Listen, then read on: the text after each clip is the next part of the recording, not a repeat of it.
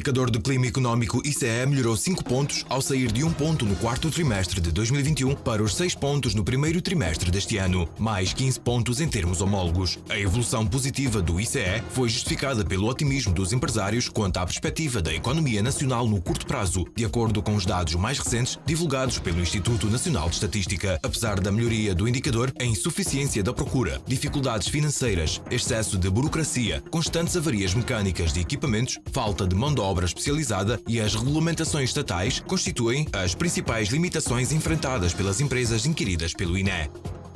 De acordo com previsões da Agência de Investimento Privado e Promoção das Exportações, IPEX, o investimento privado subscrito por Angola, ao abrigo do Código de Benefícios Fiscais, Lei nº 8-22 de 14 de abril, em vigor desde 14 de maio deste ano, ascende a 4,3 mil milhões de dólares. Segundo a IPEX, os incentivos previstos no Código trazem, entre os elementos preponderantes, os benefícios de regime contratual que aceleram a captação e a atratividade do investimento, por tornarem o país cada vez mais competitivo do ponto de vista fiscal.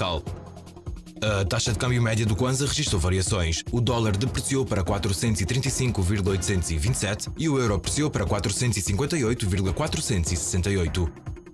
Os preços do petróleo negociaram em queda esta manhã, numa altura em que os investidores centravam as suas atenções para a Agência Internacional de Energia, que vai divulgar na quarta-feira as suas estimativas para o próximo ano. Até perto do meio-dia no mercado de Londres, a cotação do petróleo Brent do Mar do Norte desvalorizava cerca de 1,73% para 119,9 dólares por barril. Já o West Texas Intermediate, benchmark para os Estados Unidos da América, perdia 1,81% para 118,5 dólares por barril.